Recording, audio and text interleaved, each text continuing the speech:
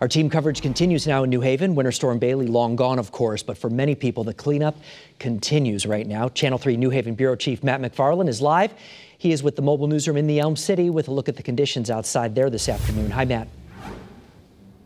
Hi there, Mark. You know, the main roads are in really good shape, but when you get into some of the neighborhoods, uh, sort of narrow streets, uh, tightly packed uh, houses and cars, you can see that there is still plenty of work to be done. Now, city crews are not the only ones staying busy with Bailey's cleanup. All around the city, folks were digging out snow blowers, shovels, plows, anything to get the job done. Now, this was the scene earlier today on Cedar and Carlisle streets in New Haven's Hill neighborhood, and while the snow was light, it doesn't mean it was making for an easy job.